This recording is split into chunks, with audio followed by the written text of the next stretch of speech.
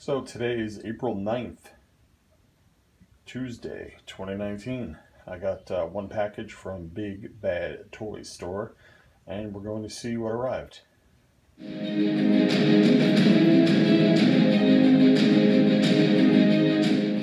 So I came home to uh, this package. Take a look and see what came in the mail today one of my favorite places to shop now that Toys R Us no longer exists.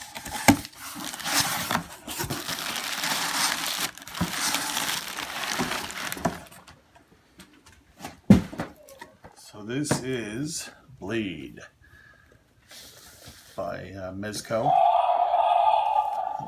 That is the playset that I showed last night. Still going off every once in a while.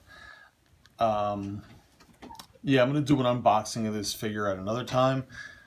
I just figured I'd show um, some highlights. Comes with a couple heads, a um, ton of uh, silver spikes, uh, a lot of attitude, great character, great movies.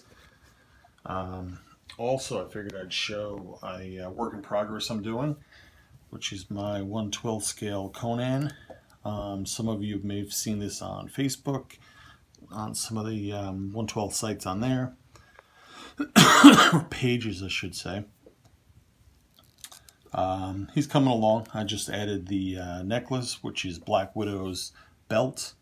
Uh, he also features Black Widow's hair, a casting of Dutch from Predator's head, um, Sid Vicious body from WWE, and um, WWE boots that were shorter than Vicious, but I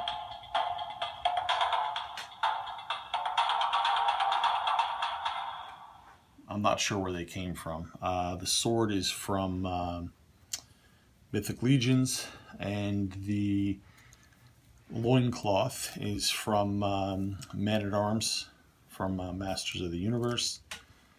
So him, I'm super happy with the way he's turning out. Um, I still got a bit of work to do on him, but I figured I would um, show him off one more time.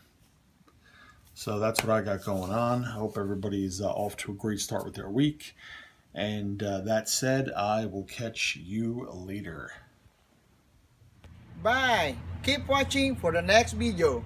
Come back soon. Bye.